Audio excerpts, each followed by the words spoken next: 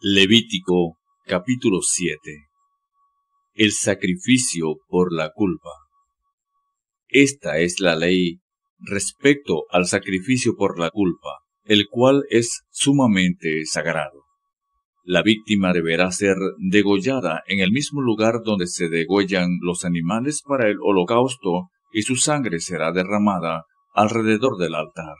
Luego se ofrecerá toda su grasa, la cola, la grasa que recubre los intestinos, los dos riñones y la grasa que los recubre, la grasa que recubre los lomos y también el lóbulo del hígado, el cual se extraerá junto con los riñones. El sacerdote quemará todo esto en el altar como ofrendas presentada por fuego al Señor.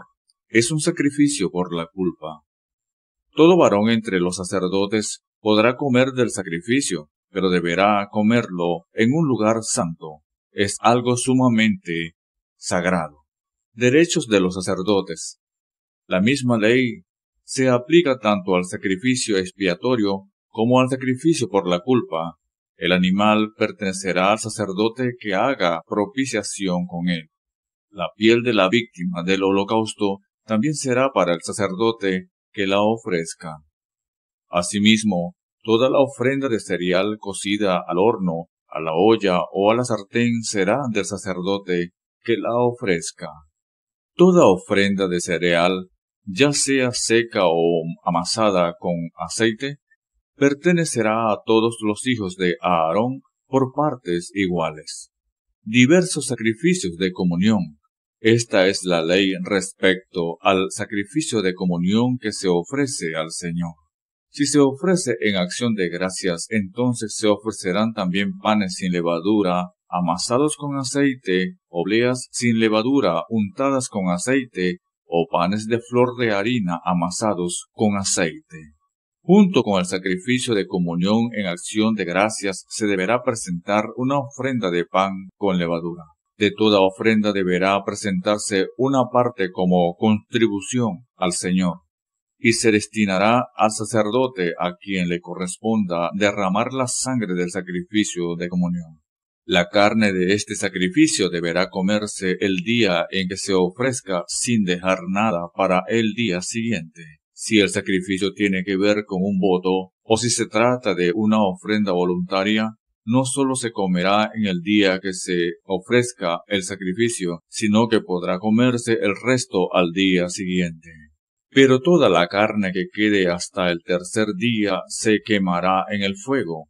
Si alguna carne del sacrificio de comunión llega a comerse al tercer día, tal sacrificio no será válido, ni se tomará en cuenta, porque la carne ya está compuesta. El que la coma sufrirá las consecuencias de su pecado.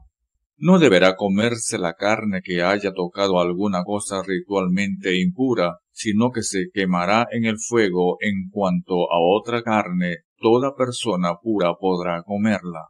Si una persona impura come la carne ofrecida al Señor en el sacrificio de comunión, será eliminada de su pueblo, o de animal o de algo detestable, y luego come la carne ofrecida al Señor, en el sacrificio de comunión será eliminado de su pueblo.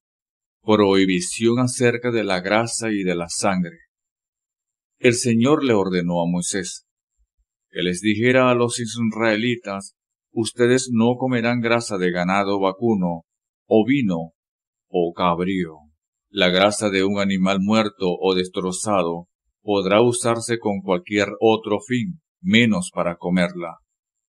Todo el que coma grasa de animales presentados como ofrenda por fuego al Señor será eliminado de su pueblo. Vivan donde vivan, ustedes no comerán grasa ni sangre alguna, sea de ave o de otro animal. Todo el que coma cualquier clase de sangre será eliminado de su pueblo. La porción de los sacerdotes. El Señor le ordenó a Moisés que les dijera a los israelitas, el que ofrezca al Señor un sacrificio de comunión deberá presentar al Señor parte de ese sacrificio y presentarle también una ofrenda por fuego. Llevará la grasa y el pecho y mecerá ante el Señor el pecho de la víctima como ofrenda mecida. El sacerdote quemará la grasa en el altar, pero el pecho será para Aarón y sus hijos. Al sacerdote se le dará como contribución el muslo derecho del sacrificio de comunión. El muslo derecho será la porción del sacerdote a quien le toque ofrecer la sangre y la grasa del sacrificio. Porque de los sacrificios de comunión que ofrecen los israelitas, yo he tomado el pecho mecido y el muslo para dárselos como contribución al sacerdote Aarón y a sus hijos.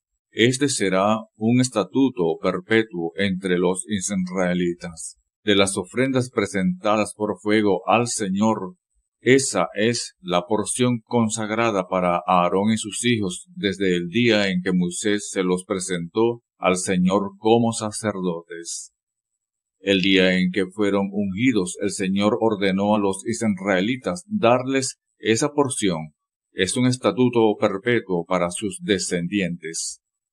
Esta es la ley respecto a los holocaustos, las ofrendas de cereales, los sacrificios expiatorios, los sacrificios por la culpa, los sacrificios de ordenación y los sacrificios de comunión.